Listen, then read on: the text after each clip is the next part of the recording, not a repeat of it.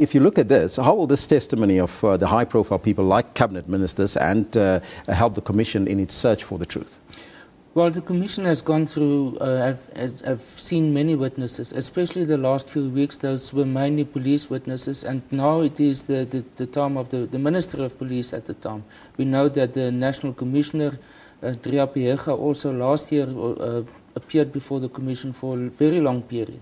Mm-hmm. Um, and I think what they want to establish now is the political responsibility of this. The Minister of Police is ultimately politically responsible for the Department of Police and the police uh, persons there deployed. Um, and he must explain what is the overall policy of the police um, and what happened at that particular moment. You know, to what extent was he, as the minister, as well as the department of the police, uh, aware of and involved in the decision making there.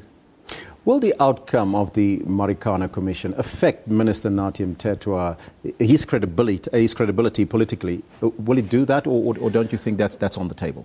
I don't think it's on the table, uh, unfortunately, to some extent, because up to now, no, no one has taken responsibility for Marikana, mm -hmm. both in a criminal sense as well as in a political sense. Um, and I think this, this is the tendency in, in South Africa at the moment is that ministers refer to their senior officials. We think about all sorts of the situa situation, mm -hmm. the Waterkloof and the Guptas, and now Marikana also. So I don't think this is, uh, at, at this stage, his political position or his position in cabinet will be uh, affected by, by this testimony of his. What about fingers being pointed at the police commissioner, Riah Phiyega? Yes, she indeed will have to account in the end, or the commission will have to decide how she presented herself and whether she, how she accounted herself, and to what extent she must take responsibility as the most senior official uh, in the police department for what happened there. Cyril Ramaphosa is, is also uh, uh, part and parcel of the people being called uh, to the commission. Uh, that monkey on his back, Marikana, will that affect him at all? I think I don't think so. You know, he's he's in he goes into this uh, hearing now in the capacity as one of the directors of Lonmin, not as the deputy president of the ANC, mm-hmm. because the ANC is not part of the terms of reference for for this uh, uh, commission. So he will have to explain what happened at the time, you know, the so-called the emails that are often referred to, and he's called to the police to act, and that it was seen more as a criminal instead of a labor relations matter. So he will he will most possibly be investigated or um, questioned about what was his intention? What was the relationship between him and the police and Lonmin uh, Company? But I think he is now so well established now after the election. He's number two on the list of the ANC. He most possibly will be the deputy president. So I don't think it's going to affect him.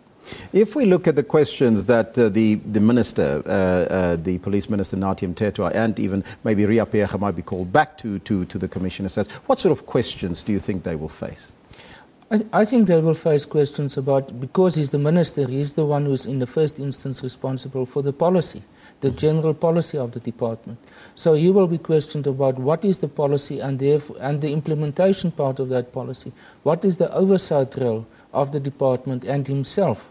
How does he, what are the measures that exist in order to, to make sure that these type of, of, of events are not supposed to happen? What is the level, again at the policy level, what is the level of training that the, that the police received? Um, and also the line of command, uh, the, the hierarchy of command within the police. So it is the overall management of the police department as well as the police on the ground. I think he will be questioned about that and to what extent it was sufficient and effective enough and, uh, and can he account for mm. what happened on that day, or was it just the people, the commanders on the ground, who took the decision without the knowledge of the head office and the minister? We just had elections 2014. Now, would you say what happened in Marikana maybe dented the ruling party, the ANC support in the Northwest Province provincially? Well, I think we saw a, a significant growth by the EFF in the northern northwest. They have become the official opposition now, and I think these events, Marikana and the strike afterwards, certainly you know, had an impact on the way in which the EFF received some support um, in there, as well as even the UDM in the Eastern Cape. You know, because many of the workers uh, in, in the Platinum Belt actually comes from come from from the Eastern Cape. So I think it did affect marginally the UDM, but very specifically the EFF in the Northwest. The uh, Marikana Commission has been ongoing for quite a while now, Professor. Uh, do, do we see a likely outcome of this to be satisfactory to the workers?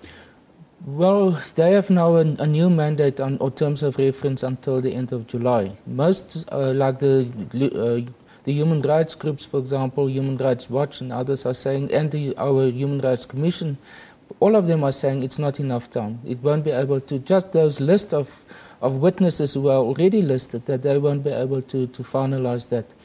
Um, now, with the removal of clause 1.5 or paragraph 1.5, the second phase has been terminated, and that is to, to, to, to determine what is the socio-economic context within which this took place, as well as what is the role of other departments, um, like the Department of Mineral Resources and the Department of Labour, and even some other government agencies in the events at Marikana, as well as the context of the events. I don't think, well, we certainly won't see uh, any report on phase two.